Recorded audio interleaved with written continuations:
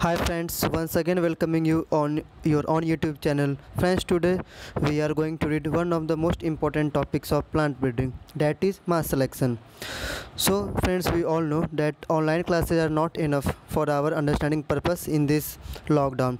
So, so friends, I am starting a movement of helping all the agricultural background students so that they can understand properly so if you want to support me in this moment then please share this video as much as you can so that this video reaches to each student and they can take advantage. So friends without wasting more time let us understand what is mass selection. So mass selection it is it is one of the oldest breeding method for improving the crop. Or we can say that we can make we make new hybrid by by this method by by mass selection. So it is a method of breeding in which uh, in which individual plants are selected on the basis of phenotype from a mixed population. Means from a mixed population we select uh, some of the plants on the basis of their phenotype. Then we, we mix their seeds and and are used to grow in the next generation. So basically so basically in mass selections uh, we select uh, some plants on the basis of their phenotypic characters and then their seeds are mixed and are used uh, for growing purpose in next generation. Now coming to the features of mass selection. So mass selection it is applicable for both self as well as cross pollinated crops but mainly for the cross pollinated crops. And uh, then second feature is it is um, stable against environmental change means it can tolerate bad environment also. And third and most important thing is uh, mass selected varieties are less prone uh, to attack of new disease. Now coming to the types of mass selection. So there are basically two types of mass selection positive mass selection and negative mass selection basically these two are same but some differences are there in positive mass selections. In, in this when uh, when uh, desirable plants are selected from a mixed population and then their seeds are mixed together to grow further generation. It means that whenever we select our desirable plants desirable plants in the sense means uh, uh, in uh, like we want some quality in or we want some particular trait or character in plants. So we will select that plant from a mixed population and then we will mix their seeds to grow further generation. So this type of selection is called as positive mass selection. Now coming to the negative mass selection. So in negative mass selections we will remove undesirable type of plants. The plants which are not desirable or the plants in which our desirable character or traits are not present so we will remove that from field and then rest are rest are same like as positive mass selection. Now coming to the procedure of mass selection. So mass selection consists of various steps. So first step is selection of base populations. Means uh, out of uh, base population we will select some some of the individual plants on our phenotype based, uh, based on their phenotype characters. Now second point is we will select our desirable plants from this population and then we will mix their seeds so that they can rise for next generation. So after mixing their seeds we will plot them in the field and then we will evaluate. So evaluation in a field trials. And then last one uh, if if that further uh, plants are, are having higher yield as compared to local variety then we will release that uh, plant or that crop as a new variety. We will read now in uh, detail.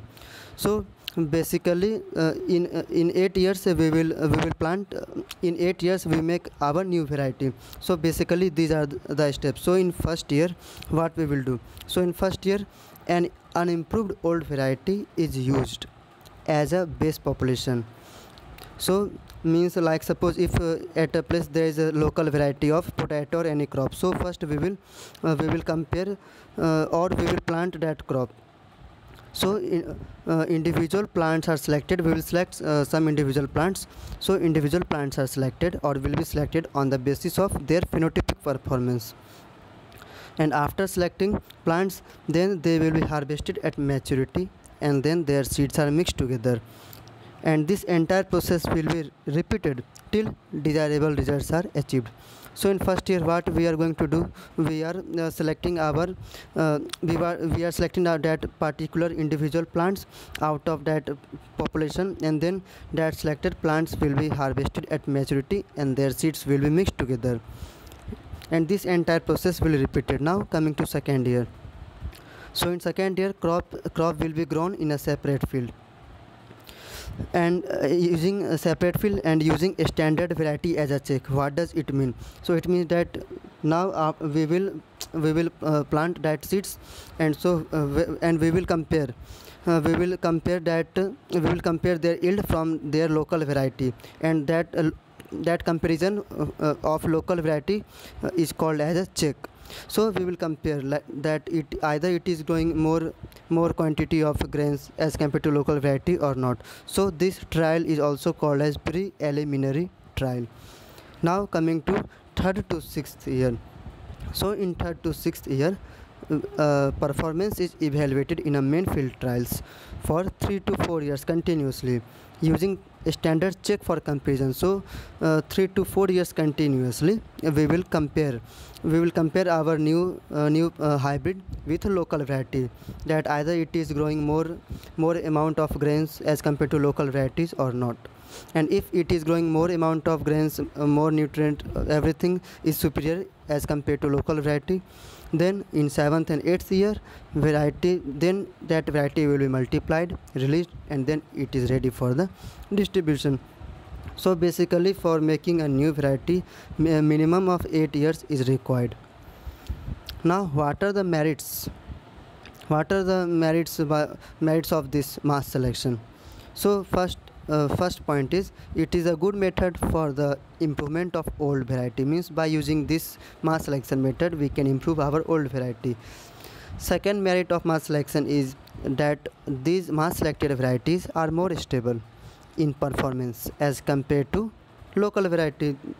And third point is that it is uh, more it is also uh, uh, yes it is mass selected varieties provide good protection against disease also as well as it is a simple and quickest method for the crop improvement and fifth and most important merit of mass uh, of this process is that mass selection process is that it is uh, it is applicable for both self as well as cross pollinated crops although it is uh, mainly applicable for cross pollinated crops.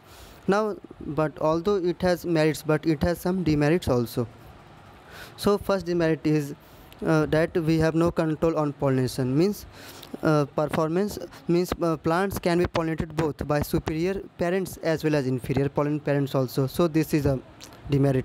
And second most important demerit is selection. Since we all know that in mass selection selection is based on phenotypic performance. But the thing is the superior phenotype is not always an indication of superior genotype. It means that if phenotype is uh, is superior in quality then it doesn't mean that that their gene are also superior.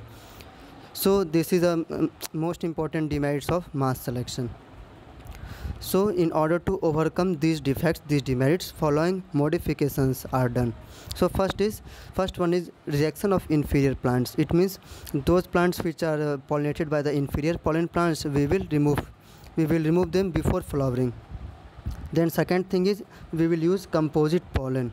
And then third thing is uh, third thing is that we will use a stratification of field. Stratification of field it is also called as a grid method in in which uh, in which uh, we will divide our field into a small plots in such a way that each plot should have minimum of 40 to 50 plants. And and then superior plants will be selected in each small plot. From each small plot we will select superior plants. And this will eliminate effect on the environment. So friends this was for mass selection. So friends if you have any doubt then you can message me uh, in youtube youtube comment section. You can ask me and i will try to solve your doubts as soon as possible. Thanks. Bye bye and take care